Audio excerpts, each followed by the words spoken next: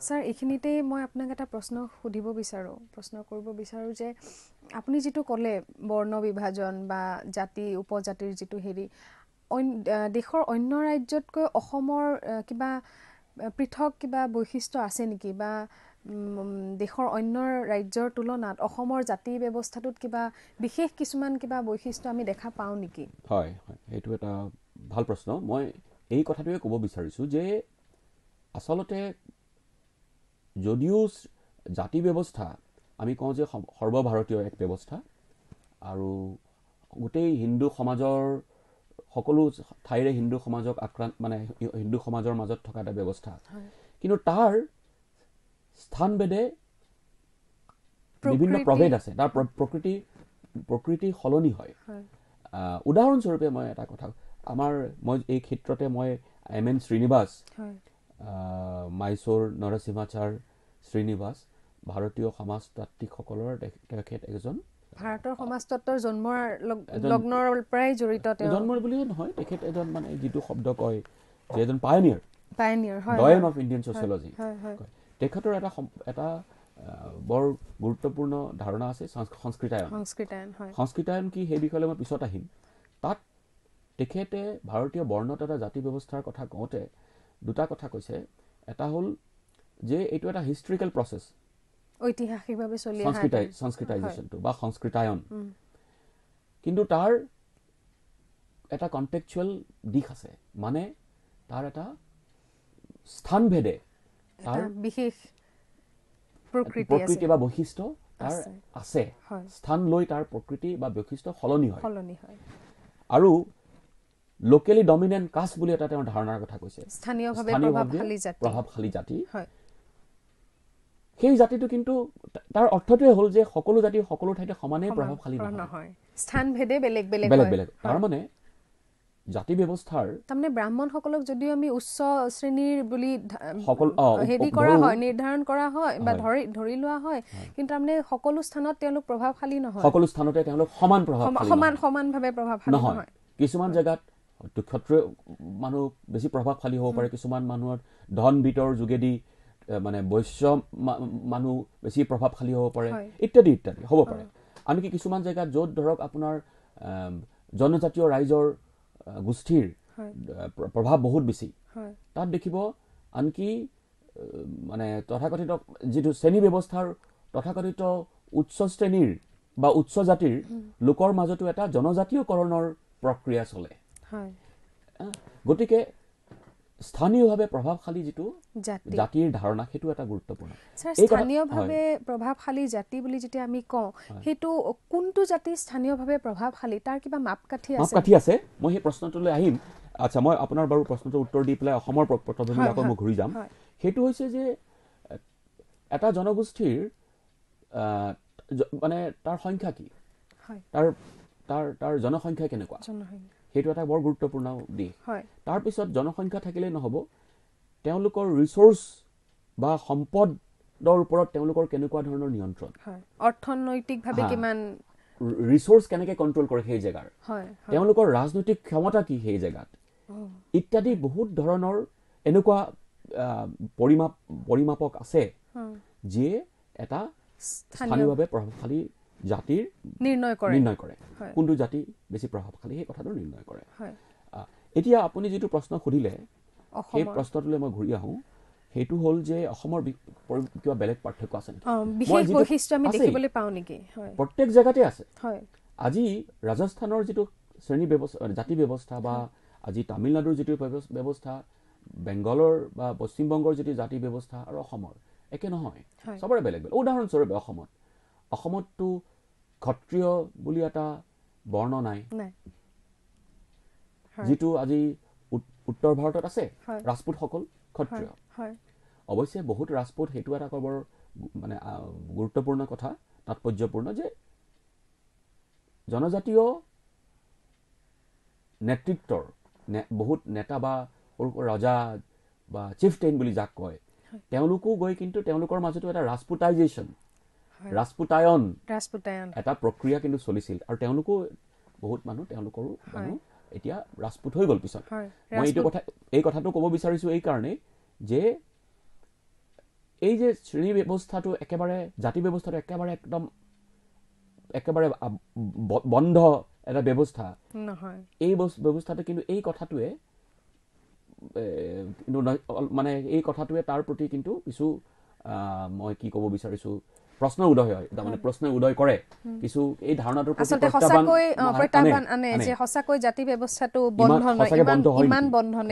হয় এতিয়া অসমৰ ক্ষেত্ৰত হ'ল মই কৈছোঁ যে চাওক ক্ষত্ৰিয় বুলি আমাৰতো কোনো কাজ নাই জাতি নাই বৰ্ণ নাই। দ্বিতীয়তে আজি শ্ৰেণী ব্যৱস্থাটো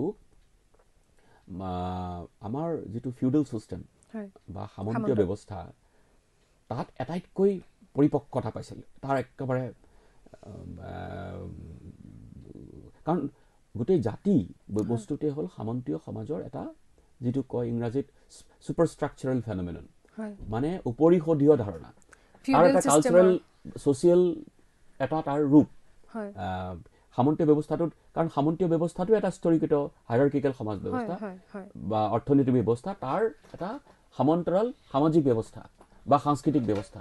যিটো শ্ৰেণী কি কয়? জাতি ব্যৱস্থাই দিছিল। কিন্তু কথাটো হৈছে য'ত সেইকাৰণে সামন্তীয় ব্যৱস্থাৰ বিভিন্ন ধৰণৰ অপাৰেশ্যন বা যিটো আমি কওঁ শোষণ। শোষণেই কওক বা যিটো দমন যিটো আমি ভাৰতৰ বিভিন্ন ৰাজ্যত দেখা পাওঁ অসমত তাৰ ৰূপটো অলপ বেলেগ। সেই সেই ধৰণকে আমি দেখা নাপাওঁ। ধৰক আজি তামিলনাডুত বা তেনেকুৱা ছাউথ ইণ্ডিয়ান বা দক্ষিণ ভাৰতীয় কিছুমান ৰাজ্যত যে নকটাৰ্নেল কাষ্ট বুলি কয় যে তেওঁলোক নিশাচৰ দিনত ওলাবই নোৱাৰে। তাৰপিছত কোন কিমান দূৰৰ মানে যিটো পিয়ৰিটি এণ্ড পলিউশ্যনৰ ধাৰণাৰ কথা প্ৰথমতে মই উল্লেখ কৰিছিলোঁ। বিশুদ্ধতা আৰু প্ৰদূষণৰ যিটো ধাৰণা। গতিকে দিনত ওলালেই মানুহ অপবিত্ৰ হৈ যাব ওপৰ ওপৰ জাতি। গতিকে তেওঁলোক দিনত ওলাবই নোৱাৰে। তেনেকুৱা জাতি দক্ষিণ ভাৰতত ছাৰ ইয়াৰ প্ৰভাৱটো বেছি নেকি? কিছুমান ক্ষেত্ৰত কিছুমান ক্ষেত্ৰত উত্তৰ ভাৰতত কিছুমান ক্ষেত্ৰত দক্ষিণ ভাৰতত জাতি ব্যৱস্থাৰ মানে হেৰিটো। চব আজি এতিয়া উদাহৰণস্বৰূপে কিন্তু সেই প্ৰশ্নটোলৈ মই আহি যদি ক'ব বিচাৰোঁ তেতিয়াহ'লে যদি খাদ্যাভ্যাস জাতি ব্যৱস্থাৰ এটা অতি গুৰুত্বপূৰ্ণ বৈশিষ্ট্য পৰিমাপক কিন্তু দক্ষিণ ভাৰতত বিশেষকৈ কেৰেলা ইত্যাদিত দেখিব আপুনি খাদ্যাভ্যাসৰ ক্ষেত্ৰত কিন্তু যথেষ্ট উদাৰ এটা মনোভাৱ। এটা পৰিৱেশ এটা আছে তাত। গতিকে গোটেই কথাবিলাক একে বুলি কৈ দিব নোৱাৰি তাত বেছি ইয়াত কম। কৈ দিব একে আশাৰে ক'বলৈ দিগদাৰ। কিছুমান ক্ষেত্ৰত বেছি কিছুমান ক্ষেত্ৰত এইফালে উত্তৰ ভাৰতত বেছি কিছুমান ক্ষেত্ৰত দক্ষিণ ভাৰতত বেছি। গতিকে পিয়ৰিটি এণ্ড পলিউশ্যনৰ যিটো ধাৰণা কৈছিলোঁ যে চাওঁ পৰিব নোৱাৰে। তেনেকুৱা ধৰণৰ ধাৰণা আছিল। আনকি বেংগলতো আছিল। আপোনাৰ কিছুমান ধাৰণা যে নিম্ন জাতৰ লোকৰ ধাৰণা। কিন্তু অসমৰ ক্ষেত্ৰত সেইটো অলপ বেলেগ থাকিল। তাৰ এটা কাৰণ হ'ব পাৰে যে আমাৰ ইয়াত জনজাতীয় ৰাইজৰ যিটো মানে ইমান বৃহৎ সংখ্যক জনজাতীয় ৰাইজ আছে এক নম্বৰ কথা। তাত হিন্দু ধৰ্মই বা ইয়াৰ যিসকল হিন্দু ধৰ্মৰ যিসকল ইয়াত মানে ধৰ্মাৱলম্বী লোক আছিল তেওঁলোকেও সেই জনজাতীয় মই কৈছিলোঁ যিটো যে লোকেলি ডমিনেট ডমিনেণ্ট স্থানীয়ভাৱে হয় গতিকে এই যে তাৰ কাৰণে জনজাতীয়কৰণ বা ট্ৰাইবেলাইজেশ্যনৰ প্ৰচেছ এটাও চলি থাকে। চলি থাকে ইয়াতো সেই তেনেকুৱা জনজাতীয় সংস্কৃতিৰ বিভিন্ন উপাদান ইয়াৰ আমাৰ জাতি ব্যৱস্থাত আছে। হিন্দু ধৰ্মাৱলম্বী সমাজখনলৈ আহি গ'ল। তাৰ প্ৰভাৱ পৰিল। প্ৰভাৱ পৰিল। এক নম্বৰ কথা। দুই নম্বৰ কথা যাৰ কাৰণে তেওঁলোক কিছু উদাৰ হৈ যাব লগা হ'ল। আৰু আদিৰে আদিম আদি আদিম অৱস্থাৰ পৰা এইটো চলি মানে আদিৰে পৰা এইটো চলি আছিল। আৰু বিশেষকৈ শংকৰদেৱৰ নিয় বৈষ্ণৱাইত বা নৱ বৈষ্ণৱবাদে এই ধৰণৰ এটা উদাৰ মানে জাতি ব্যৱস্থাৰ পথ বহুত পৰিমাণে প্ৰশস্ত কৰিছিল। তাৰ অৱশ্যে পিছত পিছলৈ কিছুমান বেলেগ কিছুমান বেলেগ ফলো দেখা গ'ল। সেইটো এটা বেলেগ প্ৰশ্ন। দুই নম্বৰ কথাটো হ'ল যে সামন্ত ব্যৱস্থাটো যি ব্যৱস্থাই জাতি ব্যৱস্থাটোক শক্তিশালী ৰূপত বৰ্তি থকাত সম্পূৰ্ণৰূপে সহায় কৰে বা সাৰ পানী যোগায়। আৰু ফিউডেল ইটোৱে সিটোৰ কাৰণে অতি দৰকাৰী। অসমত কিন্তু এই সামন্ত প্ৰথাই এই উত্তৰ ভাৰত বা দক্ষিণ ভাৰতৰ নিচিনা সেই পৰিপক্কতা লাভ নকৰিলে। গতিকে সামন্ত প্ৰথাৰ কাৰণে দৰকাৰী যিবিলাক সামাজিক সাংস্কৃতিক অনুষ্ঠান বা আচাৰ সেইবিলাকেও সেই ধৰণৰ পৰিপক্কতা লাভ কৰিব নোৱাৰিলে। গতিকে জাতি ব্যৱস্থা বহু পৰিমাণে অসমত কিছু উদাৰ বা সুলুক ঢুলুক হৈ থাকি গ'ল। ইয়াৰ ফলত অসমৰ জনজাতীয় সমাজৰ এক বৃহৎ সংখ্যক লোক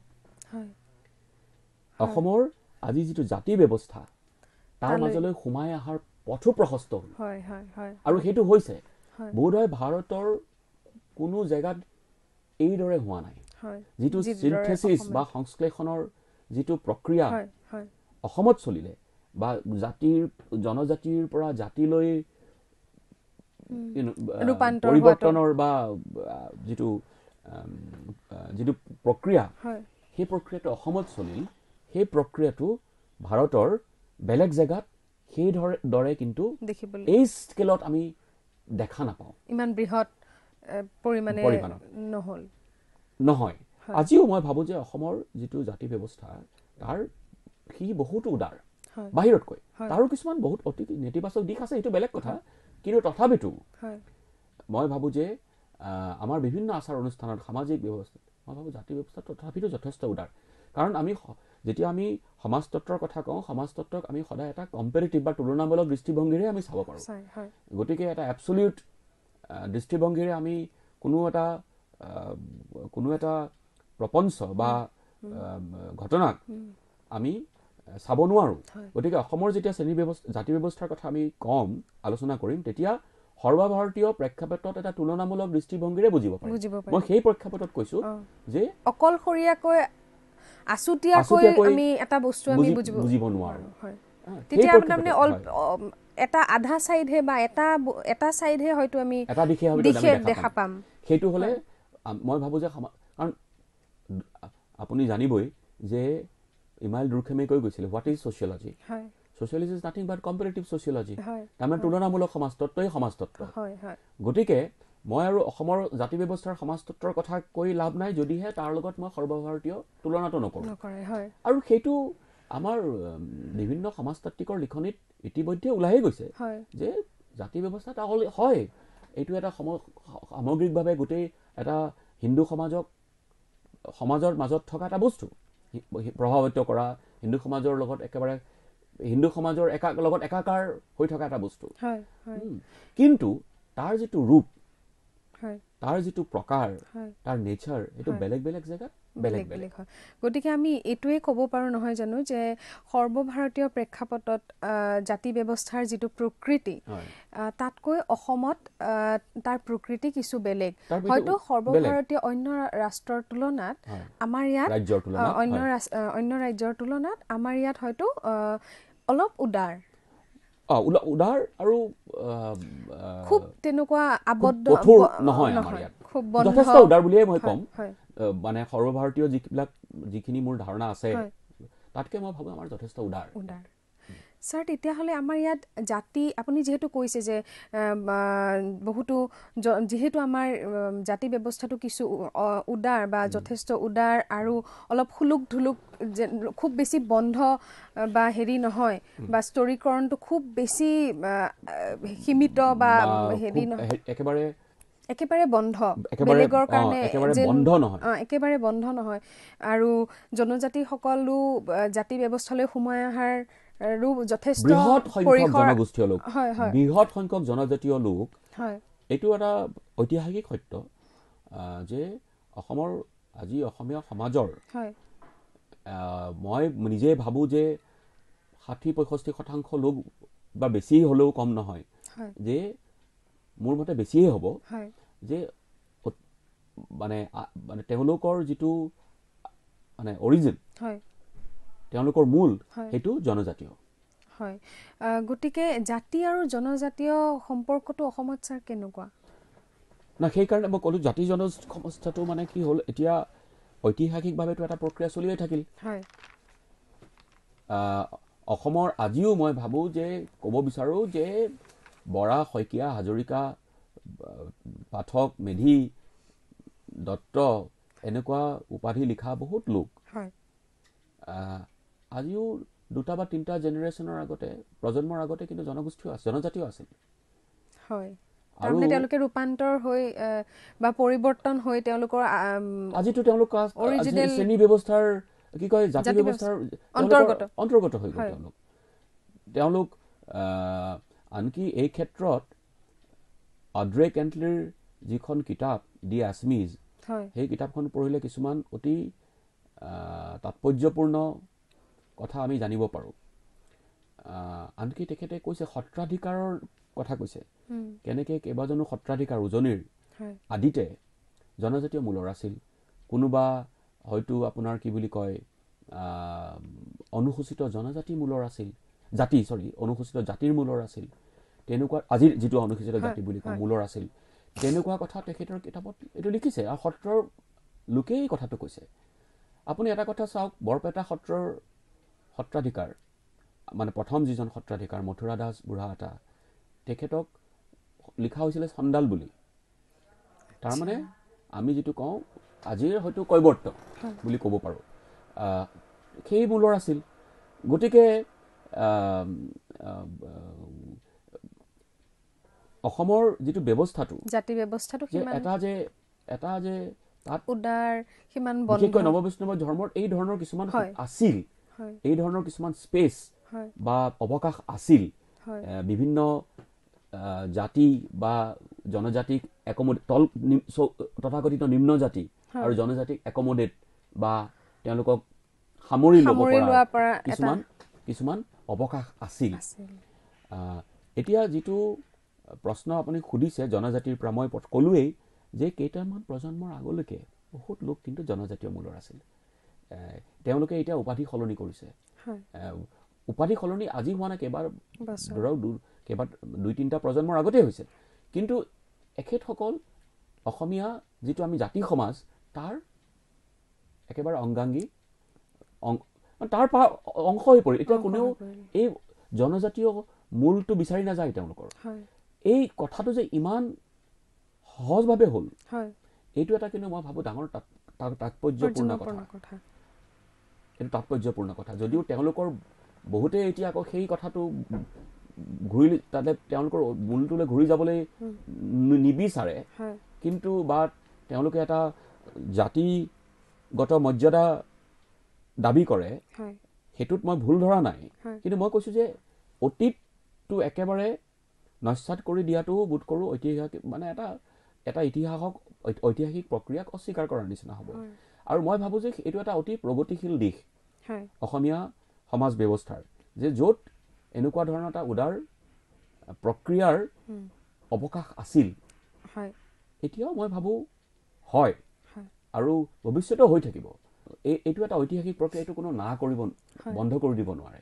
আৰু এই ধৰক যিসকল যিটো আমি কওঁ জনজাতীয় মূলৰ পৰা জাতি ব্যৱস্থালৈ সোমাই অহা যিবিলাক গোষ্ঠী যিসকল লোক তেওঁলোকৰ লগতো অসমীয়া কাজ বা পৰম্পৰাগত জাতি সমাজৰ বিয়া বাৰু সকলো হৈ আছে সকলো হৈ আছে হয়। আন্তঃ সম্পৰ্কটো চলিয়ে আছে। চলি আছে। হয়। এতিয়া কোনো সেই জনজাতীয় অতীত বিচাৰি যাব লগাৰ প্ৰয়োজনো হোৱা নাই। আৰু কোনেও কৰাও নাই। গতিকে এই ব্যৱস্থা এটা মই ভাবোঁ যে অসমীয়া সমাজ ব্যৱস্থাৰ বা জাতি ব্যৱস্থাৰ এটা খুব গুৰুত্বপূৰ্ণ বৈশিষ্ট্য তাৎপৰ্যপূৰ্ণ। যিটো বস্তু ভাৰতৰ অন্য জেগাত আমি এই স্তৰ আমি এনেকৈ দেখা নাপাওঁ। ইমান এটা ব্যাপক পৰিসৰত আমি দেখা নাপাওঁ।